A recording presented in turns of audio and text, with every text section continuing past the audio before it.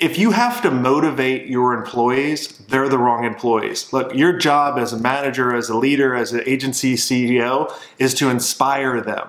If you have to motivate them, they're the wrong employees, get rid of them.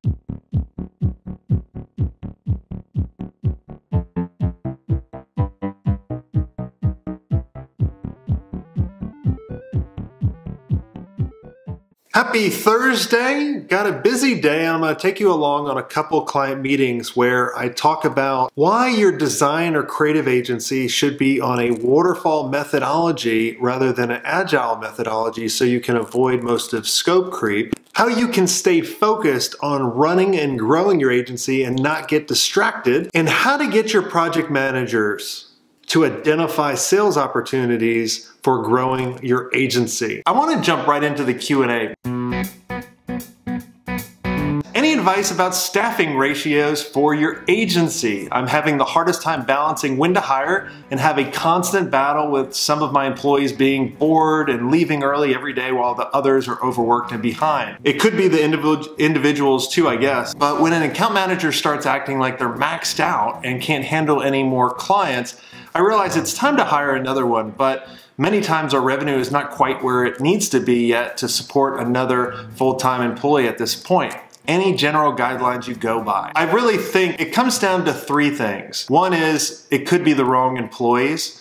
And if you have to motivate your employees, they're the wrong employees. Look, your job as a manager, as a leader, as an agency CEO is to inspire them. If you have to motivate them, they're the wrong employees, get rid of them. If they're leaving early and leaving your team out to dry, you need to have a conversation with them right away in order to let them know that this needs to change. They need to stay and they need to finish their job. It's not just when the five o'clock bell rings, you can go get a margarita and go on the beach somewhere. You have to stay until the job is actually done. And if you don't, you might need to go to our closest competition so you can screw them. So one other thing I thought about with your employees leaving early or not being the ideal employee is it could be that they're miserable. They're leaving early probably for some reason. They may be happier somewhere else or doing something else. So you'd be doing them a favor. If you do realize that they are the wrong employee, swift action really quick rather than let it linger on and keep around the wrong people. Because your good employees look at how you manage the bad employees and say, well, if they're leaving early, we might as well leave early. They're getting away with it. And then it just starts spreading like cancer. So you should get rid of those employees. The other thing you need to do is have everybody track their time and really get religious about this and not make any exceptions. So then when anybody comes to you saying I'm maxed out, which every single account manager I've ever had or project manager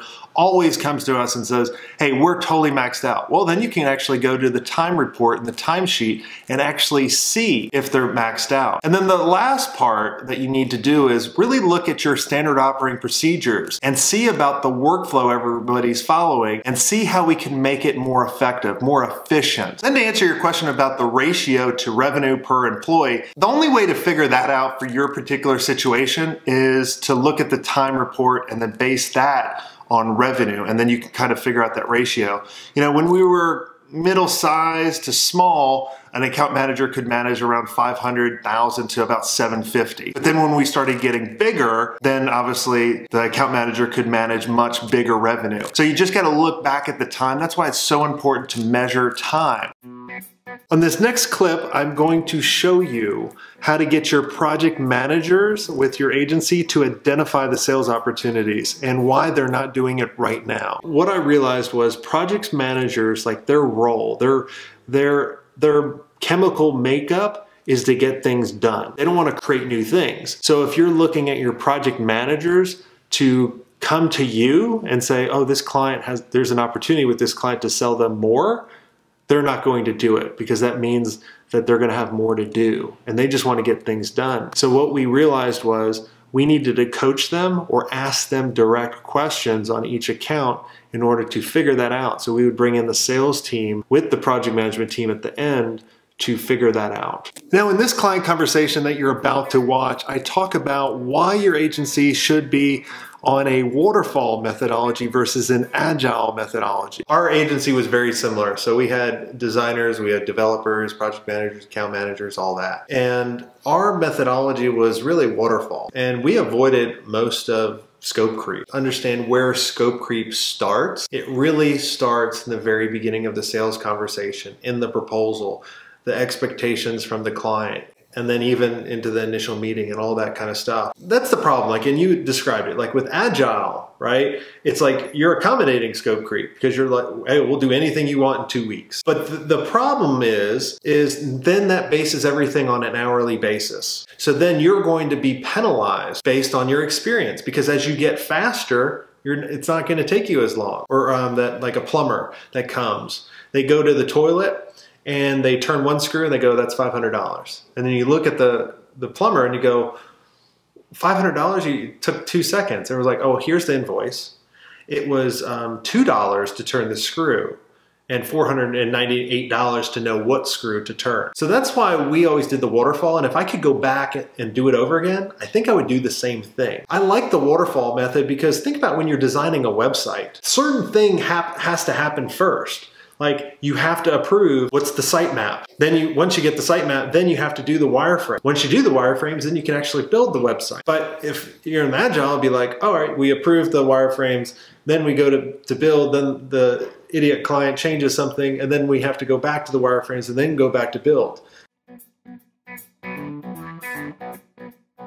On this next clip, I'm going to talk to you about how to focus on running the business and growing the business and not getting distracted in chasing that little red dot that we love making our cats and dogs chase. Coming up with that clarity and having that North Star, knowing where you're going, then you can figure out what you need to charge, what type of clients you need, who do you need to say no to, right? And it all comes down to focus. I mean, if you think about it, if you have that clarity, now you have the ability and the power to focus on that one thing that's going to be great. I mean, why was Steve Jobs such an amazing entrepreneur? Because he could say no to everything else outside of his focus. And when you and when you get that focus, like even when I get that focus, like when I see something and I go, oh, I, I hear that, I'm like, my gosh and I just literally focus on it until it's done. And that's a big difference between me and a lot of other people doing similar things like this is they don't have the focus. They, they're looking at other people, what they're doing, and then trying to model that where I'm just like, I'm listening to the market. I'm listening to what I want to create. And then I just focus and do it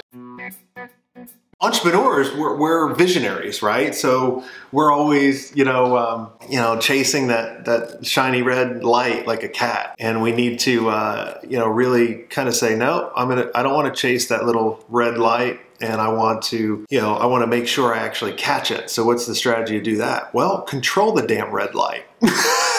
right? That's the only way you can catch the red dot is pick up the controller. But until you focus, you don't know that. You're just chasing these little red dots around. But the, the, yeah, there's no there's no special pill. There's no silver bullet. It just I think I think the pill that you need to take is just committing yourself to picking one thing and just doing one thing at a time, right? Or doing all the little things first in order to make yourself feel better. Do the big item first. Now you know what you need to do in order to focus. Who's your client that you want to go after? We've already determined that. What do you want to be making at the end of the year personally? Backwards math that out to what do we need to be charging? What's the profit margin? And then just focusing on that.